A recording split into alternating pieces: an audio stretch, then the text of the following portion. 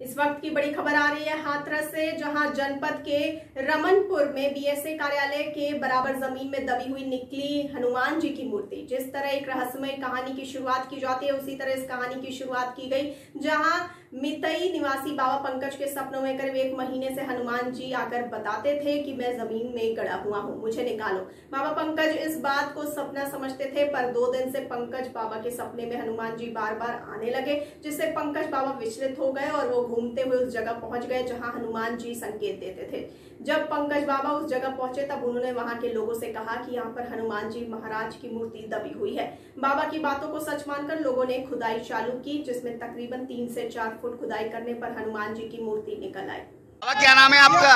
मेरा नाम पंकज है। पंकज कहाँ के रहने वाले बाबा? मैं गाँव से अच्छा बाबा ये यहाँ पे ये मूर्ति निकली है।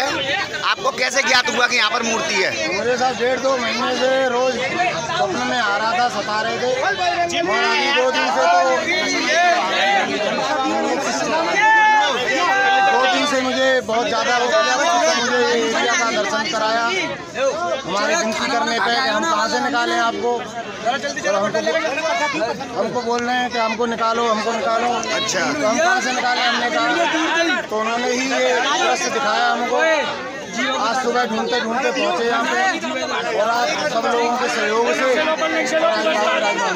बाबा कितनी गहराई पर ये बाबा निकले थे। ये लगभग चार पाँच फुट चार पाँच फुट पे निकले थे बाबा।